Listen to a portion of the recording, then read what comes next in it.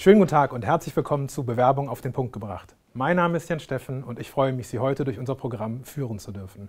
Wir sind zu Gast in der Sparkasse Bremen und das ist meine besondere Freude, Marit und Petra vorzustellen. Liebe Petra, herzlich willkommen. Liebe Marit, schön, dass ihr da seid. Petra, magst du ein bisschen was über dich erzählen? Sehr gerne. Ja, ich bin Petra und bin hier in der Sparkasse zuständig für den gesamten Bereich Ausbildung. Bin also hauptberufliche Ausbilderin. Ich darf mich ausschließlich um das Thema Ausbildung kümmern.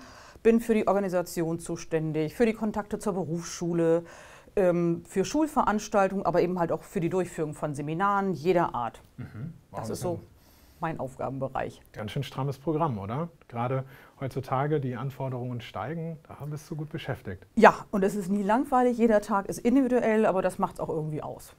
Marit, magst du dich einmal vorstellen? Mein Name ist Marit, ich bin Senior Personalreferentin im Personaleinsatz. Ich bin zuständig fürs Azubi-Recruiting, bedeutet alle Azubis in allen Bereichen werden einmal bei mir vorgestellt und ich mache die Einstellung. Ich begleite die Azubis bis zur Einstellung am 1.9. und dann gebe ich sie an meine Kollegin ab. Das bedeutet, jeder Azubi muss an dir vorbei? Das stimmt, jeder muss mich überzeugen. Wow.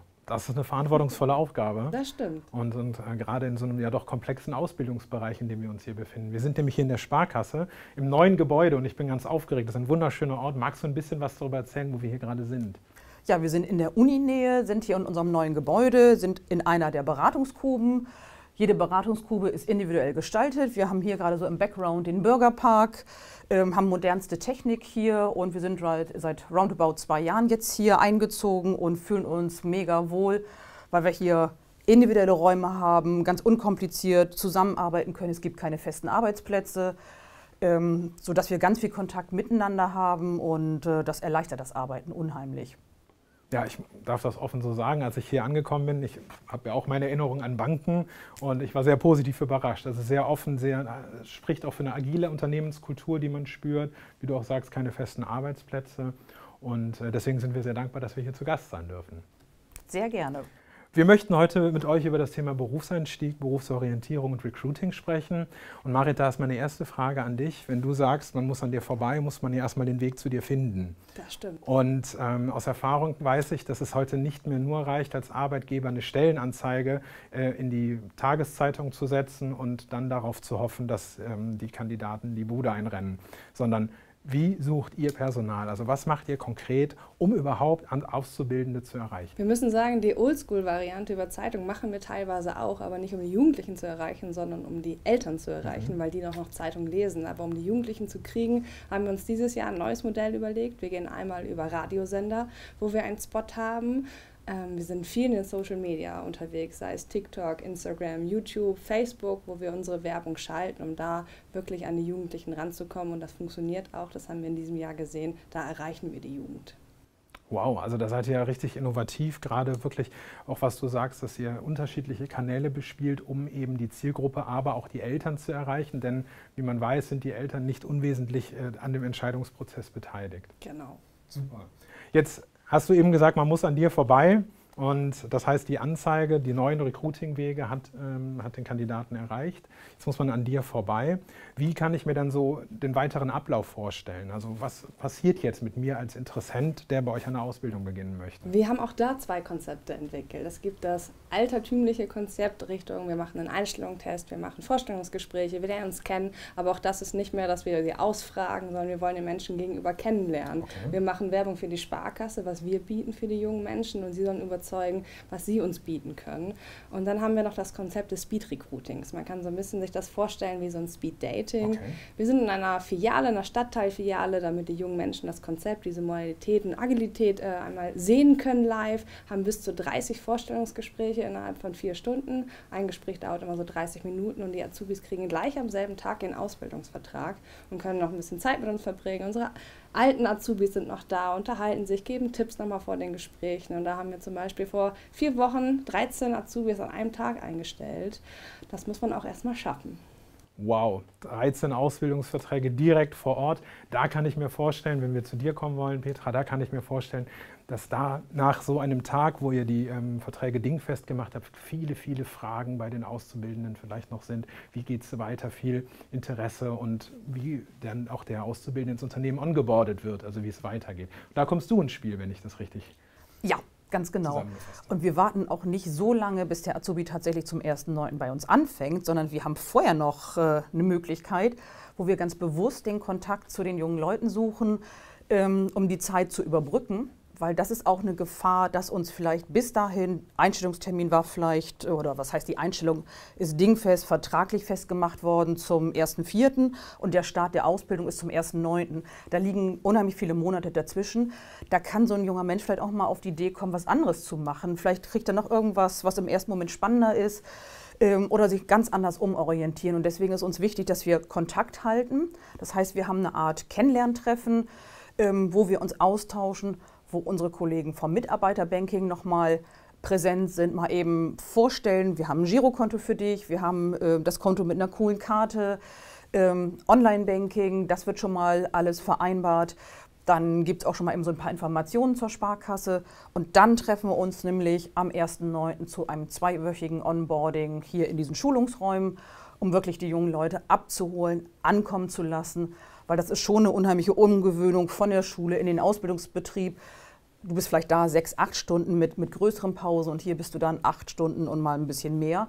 Und damit die, ja, ich sag mal, diese Gruppe auch zusammenwächst, hier gut ankommt, gibt es mindestens ein 14-tägiges Onboarding. Das kann auch mal vielleicht ein, zwei Tage länger sein. Die Zeit nehmen wir uns, um uns kennenzulernen und ja, damit die Azubis auch hier wirklich sich wohlfühlen und auch sicher fühlen.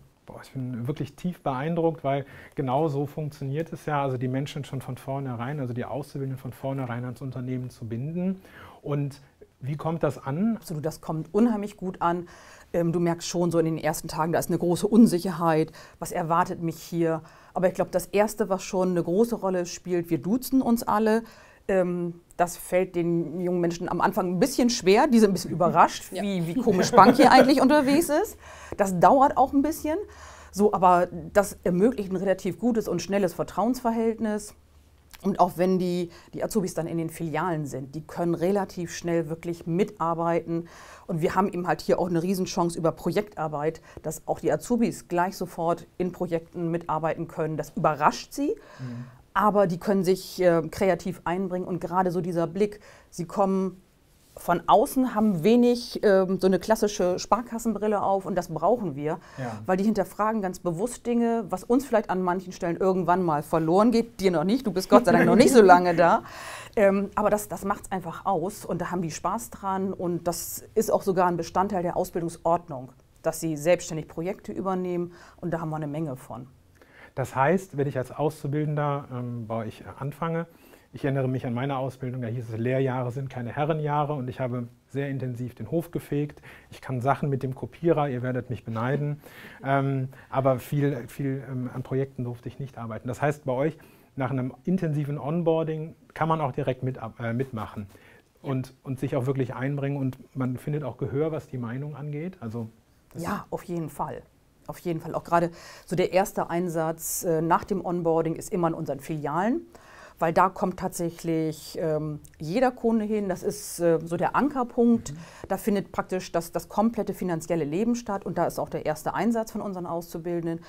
Die gucken in den ersten Tagen den erfahrenen Kollegen so ein bisschen mit über die Schulter so, und je nachdem, wie mutig jemand auch ist, dann kann er auch schon am zweiten, dritten Tag die ersten Aufgaben selber übernehmen. Aber es ist immer jemand an der Seite, da steht keiner oh. alleine und verlassen. Und wer es möchte, geht ein bisschen früher alleine auf Kunden los, immer mit jemandem im Background.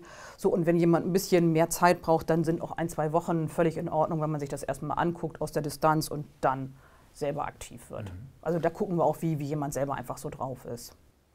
Jetzt kann ich mir vorstellen, dass, oder ich weiß es aus eigener Erfahrung, auch der Start ins Berufsleben ist nicht einfach. Ich komme zum Beispiel aus einem kleinen Ort, einem kleinen Vorort und muss dann in die große Stadt Bremen ziehen.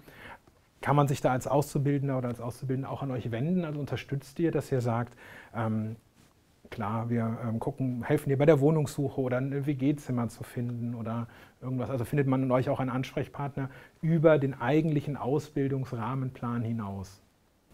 Ja, also wir haben jetzt zum Beispiel gerade einen Auszubildenden aus Malaga eingestellt, der hier in Bremen sich so überhaupt noch gar nicht auskennt. Der hat einfach mal gefragt, wie sind die Stadtteile, wo kann ich zum Beispiel mal suchen? Und mit dem haben wir uns dann einfach mal telefonisch zusammengesetzt, ihm so ein bisschen Bremen erklärt, wie das so super, funktioniert ja. äh, bei uns. Da haben wir unterstützt. Beim Onboarding äh, haben wir, erklären wir unser BGM zum Beispiel, was kann man machen, was haben wir für Hilfen, sei es OTEP, also psychische Hilfe, die jetzt Unterstützung, die jeder Azubi auch mit annehmen kann, sei es im Privat oder beruflich einfach mal Probleme da sind. Ähm, wir haben beim Kennenlerntreffen, so die Barmer mit dabei, die macht so das gesunde Ernährung, dass man einfach mal darauf achtet, was kann ich essen, was macht mich vielleicht auch müde mittags, äh, was ist vielleicht nicht ganz so clever tagsüber zu essen, damit man auch so ein bisschen die Ernährung Bewusstheit ja. aneignet, genau. Wow, ja, das sind ja auch Dinge, die, die man vielleicht als junger Mensch, der das erste Mal von zu Hause ausgezogen ist, als Beispiel, gar nicht so weiß. Und ist ja dann häufig auch die äh, Tiefkühlpizza näher als alles andere. Und deswegen sehr hilfreich. Ja, wir kochen zusammen dann, äh, bereiten gesunde Wraps zu, ein gesundes Frühstück. Das kam im letzten Jahr mega klasse an. Ja. Und so, wir haben auch eine, eine, super gute Jugend- und Auszubildendenvertretung. Die sind natürlich vom Alter her dann nochmal eher auf der Augenhöhe der, der neuen Auszubildenden. So, aber auch äh, wenn das Vertrauensverhältnis sich so langsam entwickelt hat, dann sind wir auch Ansprechpartner für, für alle Fragen. Mhm. Und tatsächlich für alle Fragen. Das überrascht uns manchmal, was da für Fragen kommen. Aber letzten Endes sind wir total begeistert, dass sie auf uns zukommen, ein Vertrauensverhältnis aufgebaut haben. So weißt du, wie es jemandem geht. Und es läuft nicht immer alles geradeaus. Und gerade dafür ist das mega wichtig, dass wir da echt im engen Austausch sind, weil äh, es können so viele Dinge passieren, man glaubt gar nicht, was alles. Aber wenn, wenn sie eben halt mit uns reden, dann finden wir für alles äh, echt immer eine Lösung. Und das ist, glaube ich, ziemlich gut. Ich als Elternteil wäre total beruhigt, wenn das dann auch, ja, wenn, wenn die eigenen Kinder in einem solchen Unternehmen jetzt auch dann auf ihre Ausbildung einfach machen ne, und gut aufgehoben sind. Ja, spricht ja für euch, dass man sich dann eben auch traut, in Anführungsstrichen, sich an euch zu wenden. Ich habe eine kleine Zwischenfrage, die würde ich dir noch stellen. Und zwar, man muss ja an dir vorbei. Und ähm, Jetzt kann ich mir vorstellen, dass nicht jeder Schüler oder jede Schülerin ein Einserkandidat in Mathe ist. Aber natürlich ist bei der Bank sind Zahlen wesentlicher Bestandteil des täglichen Werkes.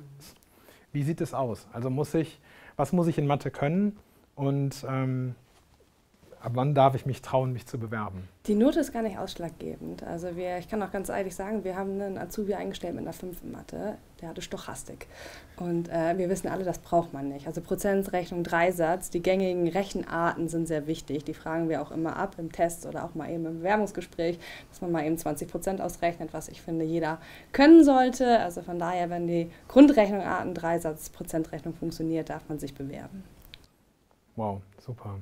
Eine letzte Frage habe ich noch. Und zwar, wir stellen halt generell fest, dass die, das Thema Nachhaltigkeit in der herangewachsenen Generation, die heute in den Beruf einsteigt, ja zunehmend an Bedeutung gewinnt. Und es eben auch Annahmen gibt oder auch Studien darüber gibt, dass der Dienstwagen als Beispiel als Statussymbol in gewisser Weise an Bedeutung verliert, sondern man eher auf Mobilitätskonzepte durch Carsharing setzt und ähm, ja, alternative Mobilitäten oder eben auch papierloses Büro zum Beispiel. Was macht ihr im Bereich Nachhaltigkeit, was ich als Auszubildender spüre schon direkt? Also seid ihr da aktiv?